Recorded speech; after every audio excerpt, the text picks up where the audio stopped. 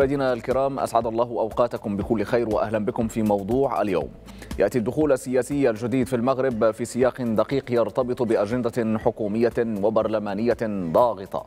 وستعكف المؤسسة التشريعية خلال الدورة الخريفية التي تنطلق يوم غد بعدد من النصوص الهامة المرتبطة بالاستثمار ومشروع قانون المالية ستعكف على هذه النصوص كما أنها مطالبة باحتضان انشغالات النقاش العمومية المتعلقة بالقدرة الشرائية ومسار الحوار الاجتماعي وإنضاج النقاش بشأن التشريعات الاجتماعية خاصة القانون التنظيمي للإضراب ومدونة الشغل فضلا عن النقاش العام المرتبط بإصلاح أنظمة التقاعد وقضايا أخرى. للمزيد عن تحديات هذه الدورة الخريفية سيكون معنا هنا في الاستوديو الدكتور حميد النهري أستاذ القانون العام بجامعة عبد المالك السعدي بطنجة وسيكون معنا أيضا عبر الانترنت من فاس الدكتور محمد فقيهي ارحب بك بداية دكتور حميد نهري ونرحب أيضا بضيفنا من فاس الدكتور محمد فقيهي أستاذ القانون الدستوري وعلم السياسة بجامعة سيدي محمد بن عبد الله بفاس. دكتور فقيهي أهلا بك. مرحبا أهلا وسهلا. شكرا لكم ضيفي الكريمين. اذا دكتور حميد نهري أستاذ القانون العام بجامعة عبد الملك السعدي بطنجة. أرحب بانضمامك إلينا. الدورة الخريفية تنطلق يوم غد وفق مقتضيات الدستور. ما هي أبرز المحطات أو التحديات التي هي في أجندة اشتغال المؤسسة التشريعية في هذه الدورة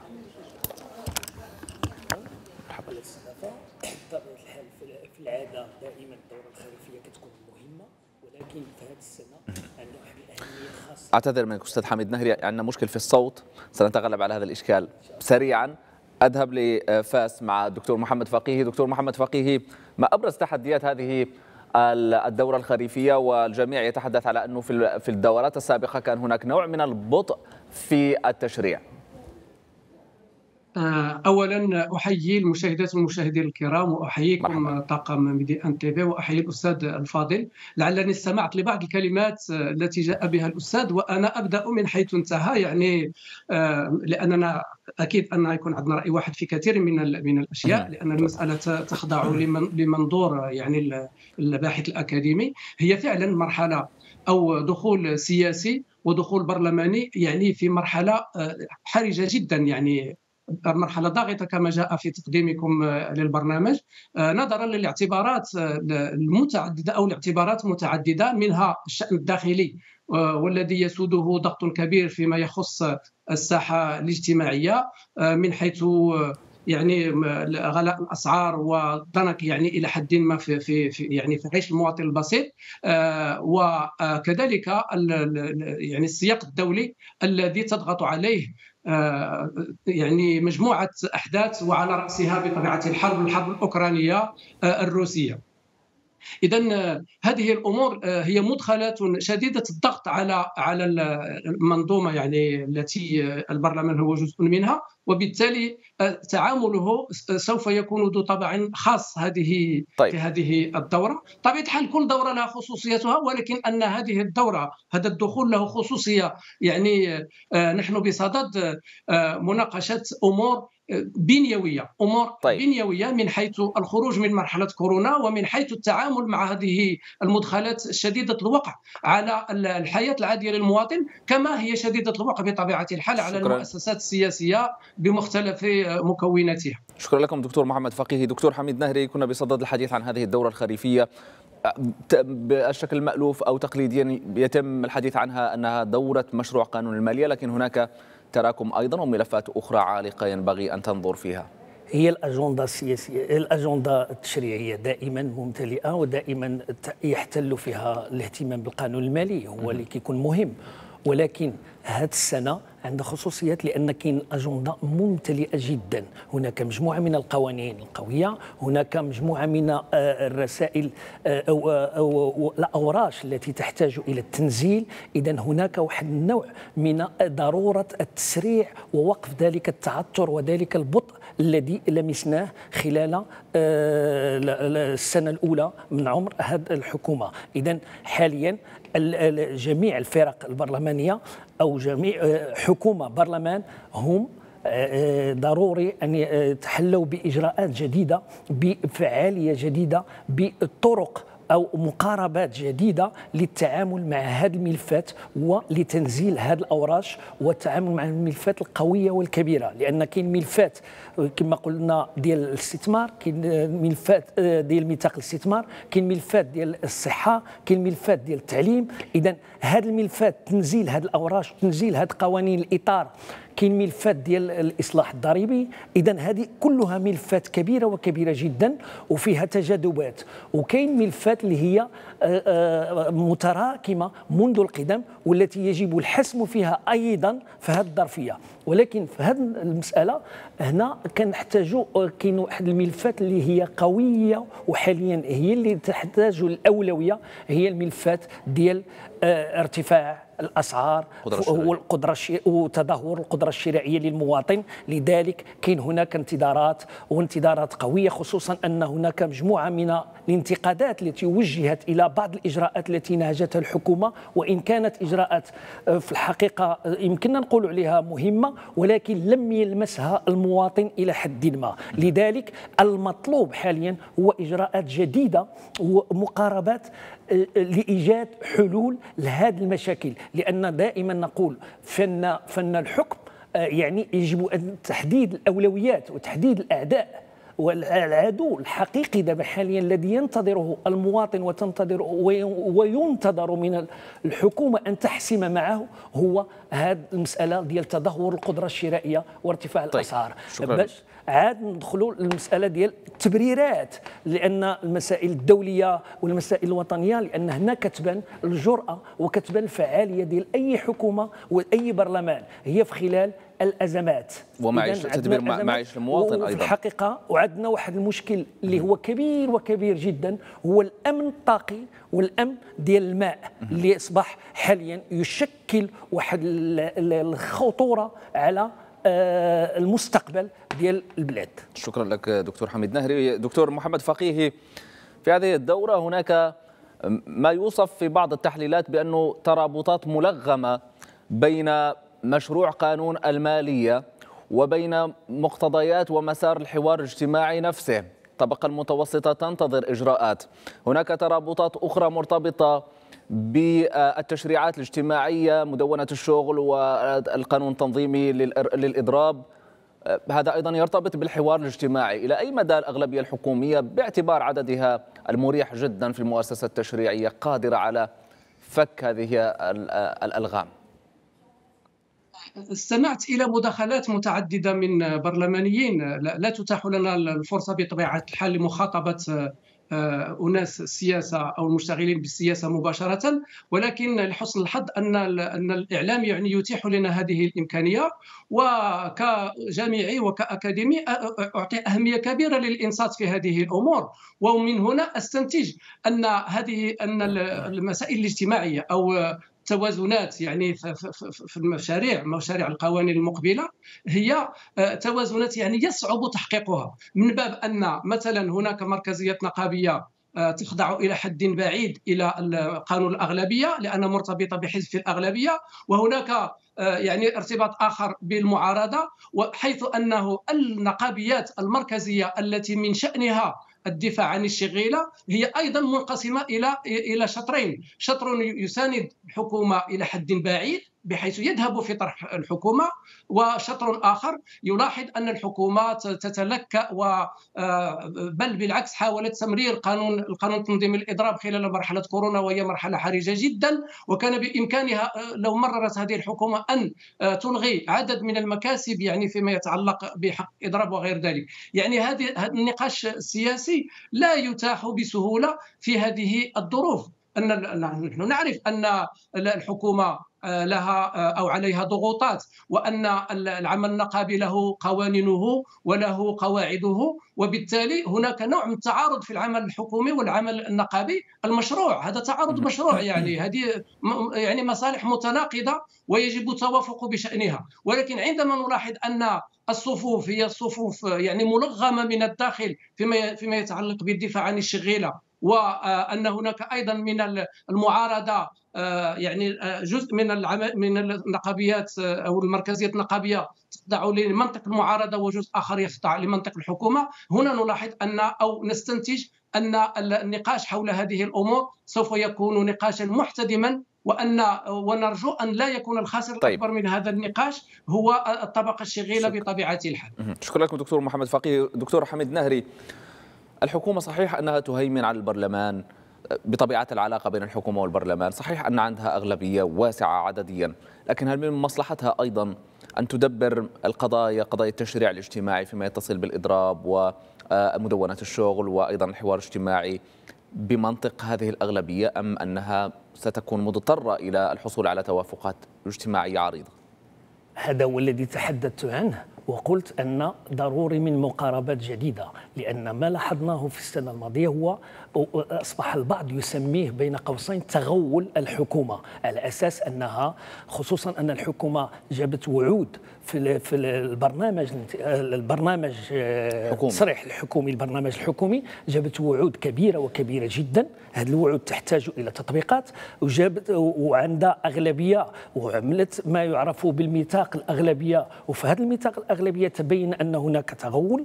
إذا على أساس أن كان هناك واحد الحوار الاجتماعي أرادت أن تضفي عليه الصبغة ديال ديال التوافقات وأن آه، إدماج جميع النقابات تحت غطائها وهذه المسألة غير صحيحة لأن ضرورة المعارضة. ملي كنقولوا المعارضة والمعارضه نص عليها الدستور أعطاها مجموعة من الحقوق وضروري من أي نظام ديمقراطي أن تكون هناك معارضة متوازنة حتى يكون هناك تشريع ويكون هناك إنتاج تشريعي حقيقي وأن الملفات الحقيقية بحال هذا الملف ديال الأسعار وتدهور القدرة الشرائية يجب أن يناقش داخل البرلمان داخل يعني لماذا وجد البرلمان؟ البرلمان هو التمثيلية ديال الشعب. إذا النقاش يجب أن يكون هناك ويكون بمقاربة جديدة لأن القضية تهم الجميع. يعني أن كانت هناك مبادرات ديال المعارضة. كان أخذ بعين الاعتبار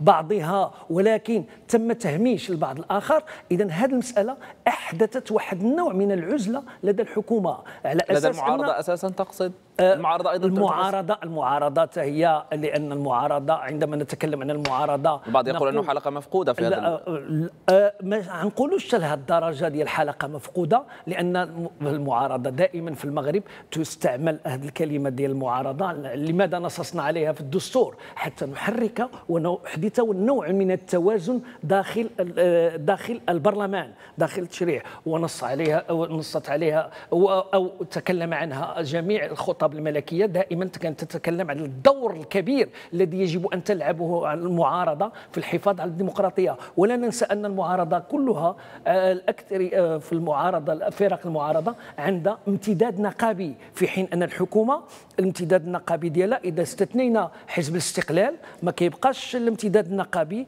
آه، طيب. ملموس اذا هذه المسألة ضروري أن تحدث نوع من التوافقات حول بعض الملفات خصوصا أن هذه الملفات تقتضي ما نقولش الإجماع ولكن تقتضي المناقشة داخل قبة البرلمان واحتراما للديمقراطية واحتراما طيب. حتى تكون الإجراءات في صالح الجميع لأن القضية تهم الجميع المواطنين قضيه مباشرة. عطفا على هذا الكلام أيضا. هذا يدفعنا إلى إلى السؤال الدكتور محمد فقيه عن قدرة المؤسسة التشريعية في هذه المرحلة على على احتضان قضايا النقاش العمومي. ضيفنا هنا في الاستوديو أشار إلى مسألة القدرة الشرائية تشكل انشغال كبير جدا لفئات عريضة من المواطنين موجة الغلاء التضخم وغير ذلك. إلى أي مدى المعارضة قادرة على أن تفرض هذه الأجندة ضمن نقاشات في في المؤسسة التشريعية؟ إلى أي مدى قادرة الحكومة أيضا بأغلبيتها على أن أن أن يكون مساحة النقاش واسعة لاحتضان آه، وتقبل أيضا مقترحات وتوصيات من هذا الجانب.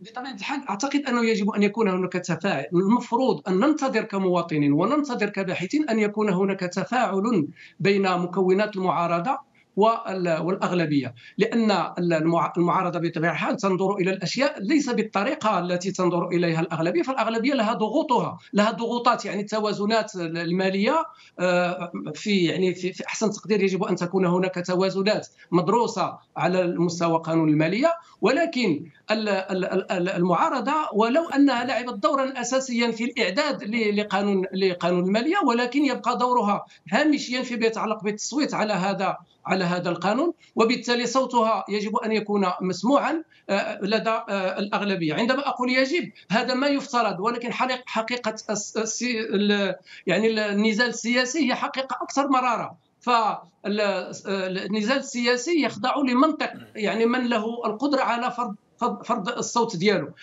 يعني قبة البرلمان هي مفتوحة لهذا النقاش. ولكن المفروض أن يكون هذا النقاش يستوعب جميع المكونات والمفروض أن هذا النقاش وكذلك النقاش على إن على مستوى التشريع نحن نتحدث هنا عن تشريعات كبرى في في المجال الاجتماعي ولكن أيضا على فيما يتعلق بمراقبة السياسات العمومية هذه ربما ربما الشق الثاني هذا مراقبة السياسات العمومية هو الذي آه، هو المجال الذي يتسع أكثر للنقاش العمومي فيما يتعلق آه، بالحياة يعني اليومية للمواطن وكذلك بالضغوطات التي يخضع لها المواطن فيما فيما يتعلق بقدرته آه، الشرائية. اذا ما يلاحظ الآن وهو انشطار يعني القوى التي من حق من لها صلاحيه الدفاع عن القدرة الشرائية للمواطن. هنا اول قوة أفكر فيها هي القوة النقابية هي المركزيات النقابية. إذا تحدث الأستاذ أن حزب الاستقلال الآن له امتداد نقابي آه، وهو من داخل الاغلبيه أنا أتفق أنه آه، باستثناء ربما حزب الاستقلال الصوت الصوت النقابي عند الأغلبية هو إلى حد ما آه، يعني منكتم يعني لا أثر كبير له. ولكن لا يجب أن نستهين بقوه حزب الاستقلال وبالقدرة التفاوضية للبعد أو للذراع النقابية لحزب الاستقلال. ولكنه الآن نجد أنه يتحدث من منطق الأغلبية وتحدثت إلى إلى أحد ممثلي هذه المركزية النقابية لحزب الاستقلال فهي تتحدث بطبيعة الحال بأريحية وكأن الأمر يتعلق بان الأمر كله يعني متحكم فيه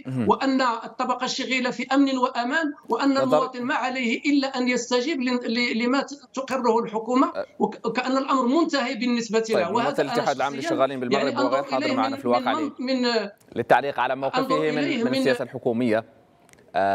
المهم ما علينا. أنا المهم أنا ألتزم ب عندما تحدد لي وقت ستدخل فألتزم به. تفضل تفضل. اذا أنا أنظر بنوع من عدم الرضا يعني على النقاش السياسي تحت قبة البرلمان عندما تتحدث يعني مركزيه نقابيه وتقول وتقول ان أن غلاء الأسعار وما يعني ما يتعرض له المواطن وبشهادة يعني هذه على المستوى الدولي هذا ماشي على المستوى المغربي. جميع الدول يعني تقوم بإجراءات إجراءات كبيرة جدا من أجل التخفيف من وطأة غلاء العيش و, طيب. و... و... يعني تخفيف من هذه الوطأة. ولكن هنا نقول أن الأمر كما هو. يجب أن يبقى كما هو وأن طيب. أن الحكومة بذلت الشيء الكثير بذلت شكرا. الشيء الكثير وهو وهو أعلى مرتبة ما يمكن أن تبدو له يعني سوف يستمر الأمر كما هو عليه. هذا أمر يعني إلى حد ما يقلقني صراحة شكرا لك دكتور محمد فقيه. هذا عنصر مهم جدا في النقاش ومسألة قدرة المؤسسة التشريعية على احتضان النقاش العمومي وانشغالات نعم. المواطنين. أنت تريد أن تعلق في هذه النقطة تفضل. نعم. هنا القدرة ديال التشريع لأن وقع هذه المسألة في هذه السنة اللي فاتت أن العديد من الإجراءات اتخذتها الحكومة آه، خارج الاطار خارج التشريع خارج البرلمان. مجموعة الإجراءات يسمح بها القانون التنظيمي ديال المالية يسمح خصوصا على الجانب المالي. هناك ديك المسألة المساعدات التي قدمت للنقل المساعدات بعض الإجراءات الاخرى أخرى. هذه الإجراءات أخرى بالنسبة لقطاعات أخرى كلها إجراءات تمت. يمكن للحكومة أن يعني ما نقولش تهرب ولكن بين قوسين.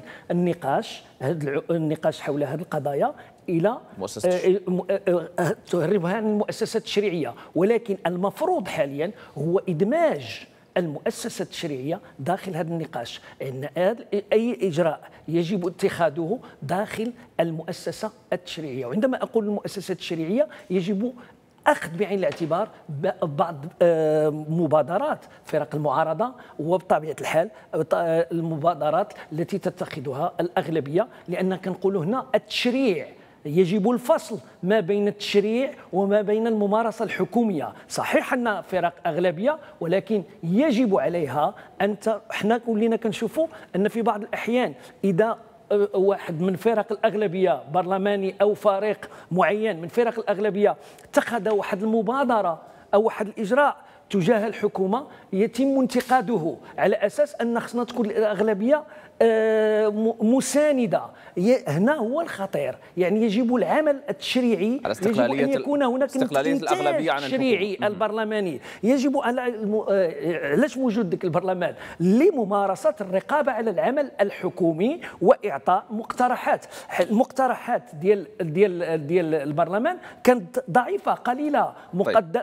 مقارنة مع مشاريع القوانين. وإذا هذا هو المسألة. في الإنتاج التشريعي. يجب أن يعتمد مقترحات. القوانين وحتى في الجانب المالي. في الجانب المالي ملي كنقولوا ملي كنقولوا قانون المالية ديال 2023 ماجي دابا حاليا يعني ما هو منتظر منه لأن قانون طيب. المالية هذا يمكن اعتباره هو أول قانون بالنسبة لهذه الحكومة, لهذه الحكومة. آه. بقي القليل جدا من الوقت سنقتسمه مناصفة بين ضيفي الكريم في إجابات سريعة في الواقع دكتور محمد فقيه هل تتوقع أن تكون هناك رقابة أكثر صرامة في هذه الدورة الخريفية على الحكومة والعمل الحكومي باختصار شديد لو سمحت تفضل أعتقد أن العمل يعني البرلماني سوف يستمر كما كان عليه. لا لا نتوقع أن يكون هناك صرامة يعني في في في المعارضة وصرامة كذلك في الأداء الحكومي يعني استثنائية. أعتقد أن الأمر سوف يستمر عليه. ولكن يجب أن أعتقد بان الحكومة مطالبة بالتفكير في نقطة أساسية في نظري وهو أن وقت تخدير مسألة السلم الاجتماعي قد انتهت. السلم الاجتماعي كان مخدرا بفعل كورونا كان مخدرا إلى حد ما بفعل الحرب عند وقع الحرب. مفعول التخدير هذا سوف ينتهي وسوف يستوقظ المواطن على أنه كورونا انتهت الحرب في طريقها إلى أن نحن نحن لسنا معنيين بالحرب ولكن يجب على حكومتنا أن طيب. تنتبه لمستوى عيشنا وأن تنتبه لظروفنا وبالتالي سوف تكون الحكومة في مواجهة آه، يعني منظور آخر آه، من على مستوى شكرا لك دكتور محمد فقيه ساخذ 30 ثانية إضافية مع الدكتور حميد نهري. تدبير الحكومة لهذا للملف الاجتماعي للإشكاليات الاجتماعية في هذه المرحلة صلة بالدورة التشريعية. هل تتوقع أنه آه، تكون أكثر إنصاتا أكثر احتضانا لهذا الهموم والانشغالات؟